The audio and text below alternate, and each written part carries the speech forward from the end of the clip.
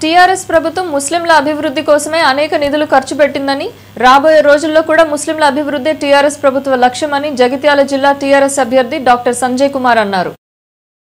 లో ఈ రోజు తెరాస పార్టీ అభ్యర్థి డాక్టర్ సంజయ్ కుమార్ ముందస్తు ఎన్నికల ప్రచారంలో భాగంగా జగిత్యాల పట్టణం పురాతన ఖిల్లా సమీపంలో గల జమా మసీద్లో కార్యకర్తల సమావేశం ఏర్పాటు చేశారు.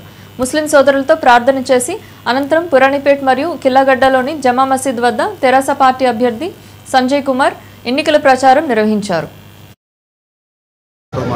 चौबीस घंटे करंट से भी वो सबके धंधे अच्छे चल रहे हैं और सबसे अच्छा ये किसानों भी रहते हैं मुसलमानों में हम रैत समन्वय समिति में मुसलमानों को बनाए चंदल और लच्छका पेट साइकिल में वहाँ बात करें मैं सवाल पूछता हूँ ये कांग्रेस वाले कितने लोग पूछे बारह फीसद रिजर्वेशन के बारे में वहाँ पार्लियामेंट में साठ सत्तर लोग हैं कितना पार्लियामेंट मेंबर्स पूछे, मैं पूछ रहा हूँ। ये तेलुगुदेशम वाले, वहाँ बीजेपी के साथ सेंट्रल मिनिस्टर्स थे वो टाइम पे। क्या कोई बात करे क्या इसके बारे में? कोई बात करे क्या? आज ये तेलुगुदेशम कांग्रेस और कोई और